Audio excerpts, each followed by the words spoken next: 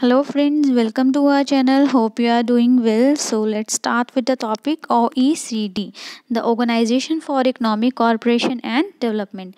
OECD organization से पहले एक और organization थी OEEC, the Organization for European Economic Cooperation, जो कि establish हुई थी 1948 में ये काफ़ी सक्सेसफुल हो रहे थे, काफ़ी अच्छे परफॉर्मेंस गेन कर रहे थे वेरियस कंट्रीज़ इसको ज्वाइन कर रहे थे। तभी उन्हीं दिनों में डिसाइड किया गया कि इस ऑर्गेनाइजेशन को चेंज करके नई ऑर्गेनाइजेशन बनाई जाए ओईसीडी और यही टाइम था जब हमारा कनाडा और यूएस ने भी इस ऑर्गेनाइजेशन को ज्वाइन किया।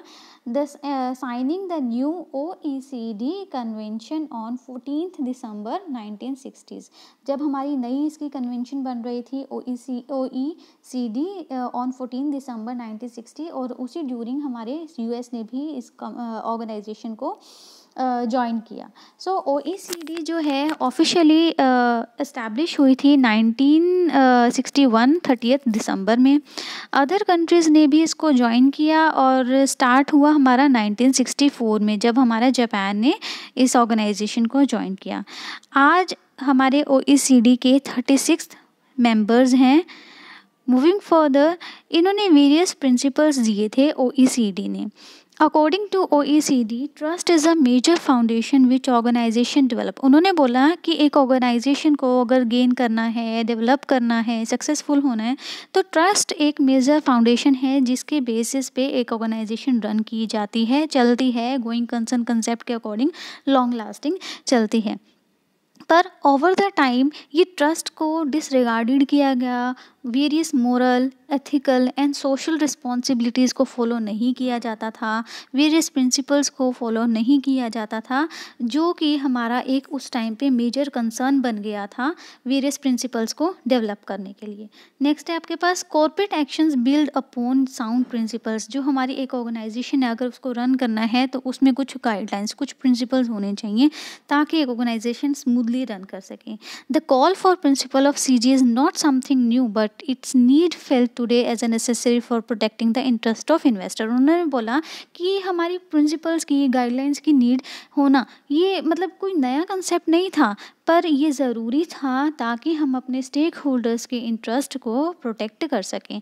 From number of global reports on corporate governance the O E C D principles of corporate governance जो हमारे कॉर्पोरेट गवर्नेंस के प्रिंसिपल्स दिए थे ओ ई सी डी ने, ये एक बेंच बने, एक एक बेसिस बने एक अपनी ऑर्गेनाइजेशन में good element good theme develop करने के लिए एक ऑर्गेनाइजेशन में। तो वेरियस प्रिंसिपल्स कौन कौन से थे? Let study The principle of corporate governance was developed in April 98 but after span period of six years they were revisited उन्होंने बोला कि 1998 में ये डेवलप हुए थे, पर सिक्स छः साल के गैप के बाद ये दोबारा से रिविज रिवाइज किए गए थे रिविजिट किया था इन्होंने और वेरियस प्रिंसिपल्स ये थे 2004 में। तो अब वेरियस प्रिंसिपल्स कौन कौन से हैं? First one is ensuring the basis for effective corporate governance framework उन्होंने बोला कि अगर एक ऑर्गेनाइजेशन है तो ध्यान देना पड़ेगा कि एक ऑर्गेनाइजेशन ऑर्गेनाइजेशन को रन करने के लिए इफ़ेक्टिव कॉर्पोरेट गवर्नेंस हो ट्रांसपेरेंसी हो प्रॉपर इंपॉर्टेंट टर्म की डिस्क्लोजर हो राइट का ध्यान रखा जाए। नेक्स्ट है right for the companies share holders जो हमारे एक इंपॉर्टेंट की मेंबर होते हैं, हमारे शेयर होल्डर्स तो उनके राइट्स के बारे में, उनके ऑनरशिप के बारे में प्रॉपरली ध्यान रखा जाए। प्रायोरिटी ऐसा नहीं है कि एक को प्रायोरिटी दे रहे हैं और दूसरों को निगलेक्ट करें ऐसा नहीं होना चाहिए। थर्ड प्रिंसिपल है the equal treatment of share holders वही बात कि हमारे जो सारे, सभी शेयर होल्डर्स हैं, उनके बीच में इक्वालिटी मेंटेन करके रखी जाए। अब सभी को अगर मैं शेयर ऑप्शन प्लान के ऑप्शन दे रही हूँ, एक एक अच्छी अपॉर्चुनिटी दे रही हूँ, कुछ रिवार्ड्स दे रही हूँ तो वो सभी को मिले। ऐसा नहीं है कि एक को दे रही हूँ और एक को नहीं। फोर्थ है आपके पास role for stake holders in corporate governance mention करना कि हमारे कॉर्पोरेट गवर्नेंस में स्टेक होल्डर्स का क्या रोल है? क्या उन्हें अपना काम करना है? क्या रोल प्ले करना है? नेक्स्ट आपके पास डिस्क्लोजर एंड ट्रांसपेरेंसी ऑर्गेनाइजेशन अगर कहीं पर वर्क कर रही है, कहीं पर लिस्टेड है हमारी कंपनी तो उन्हें ध्यान रखना पड़ेगा कि वो अपनी फाइनेंशियल अपने अकाउंटिंग टर्म्स का प्रॉपरली डिस्क्लोजर करे ट्रांसपेरेंसी मेंटेन करके रखे internal as well as outside भी, ताकि उनकी परफॉर्मेंस उनकी गुडविल अच्छी हो और कोई भी विंडो ड्रेसिंग ना हो। तो ये पाँच प्रिंसिपल्स दिए थे हमारे ओईसीडी ने।